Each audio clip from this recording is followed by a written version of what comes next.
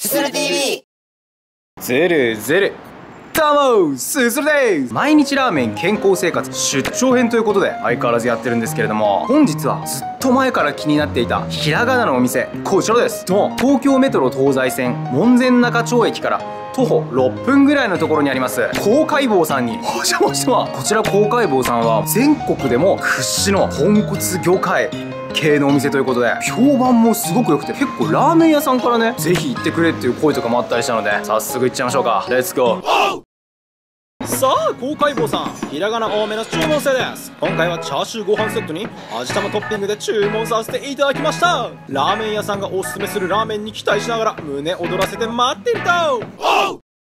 来ました。こちらが公開坊さんのチャーシューご飯セット。明日のトッピングです。魚介の香りが漂う豚骨魚介スープの中には麺が丁寧に使っていてトッピングも無駄がなく強いこだわりが伝わってくる一杯ですね。それでは早速いただきます。さあ早速スープを一口いただくと。うんもうこの表情を見れば言葉はいらないでしょう。魚介だしのエッジが効いていて後から豚骨などの旨味が広がる奥深さのあるスープでこりゃ魚介好きにはたまりません。ではメンマとも高相性なことを確認してちょうどいいサイズ感のチャーシューは一口ですぐに噛み切れてしまうくらい柔らかいですが肉肉しさもしっかり感じられる肉質しっかり系のチャーシューで食うのでも出ません。そしてチャーシューもスープと合うわーと思いながら小麦より小麦色の中太麺をすする。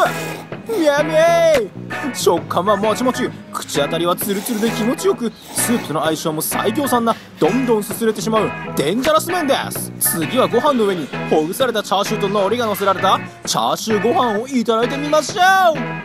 おお柔らかなほぐしチャーシューに濃いめのタレが絡められていてご飯が進む味付けですご飯の後のスープも漏れなく絶品だ。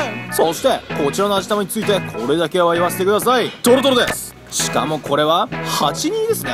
いや73ですか？82です。ではではこれだけ強めの業界ながらどんなにすすっても飽きのこないスープのバランスの良さに心打たれながら早くも完食。本日も大変美味しくすれました。エッジの効いた魚介だしが最高で麺やトッピングとの相性も抜群なラーメン屋さんがおすすめするのも納得の一杯でした。それではゴーストレごちそうさまでした。いやー高解剖さんに行ってきたんですけれども。いやー美味しかったですね。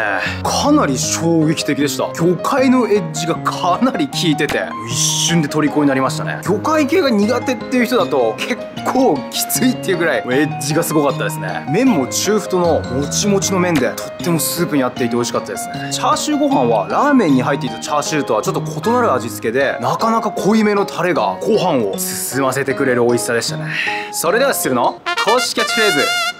公開坊さん。絶対パンダ好きや。はい。起動します。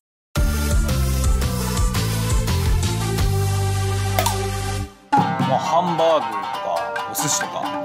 昨日はラーメン。食べましたいや。まあいろいろ提供してます。